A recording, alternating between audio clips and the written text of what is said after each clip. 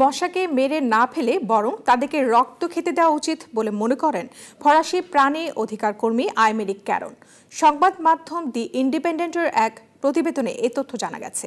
তবে ব্রিটিশ প্রাণী সুরক্ষা কর্মীরা বলেন, এখন যেভাবে চারিদিকে ডেঙ্গু প্রতিরোধে মশা নিধনের তৎপরতা চলছে, তাতে এই ধরনের খবর বিভ্রান্তি ছড়াতে পারে। বিস্তারিত চন্দ্রানী চন্দ্রার ডেস্ক রিপোর্টে। মশার কামড়ে জনজীবন অতিষ্ঠ।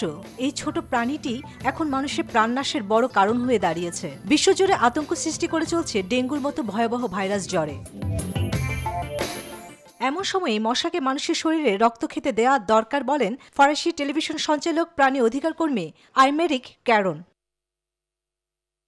স্ত্রী মশা তাদের ডিমের প্রোটিনের জন্য মানুষের রক্ত চুষে নেয়। তারা তাদের ভবিষ্যতের প্রজন্মকে লালন পালন করতে গিয়ে আক্রমণের শিকার হয়। এটা প্রাণী বৈষম্যের বিরোধিতার জন্য অস্বস্তিকর। তবে আফ্রিকার মশার কামড়ে ম্যালেরিয়া হয়, তাদের জন্য এটি প্রযোজ্য নয়, জানান ক্যারন। পাশাপাশি যারা প্রাণীদের ভালোবাসেন, তাদের উচিত পোকামাকড়কে নিজেদের শরীরের কামড়ানোর সুযোগ করে দেওয়া।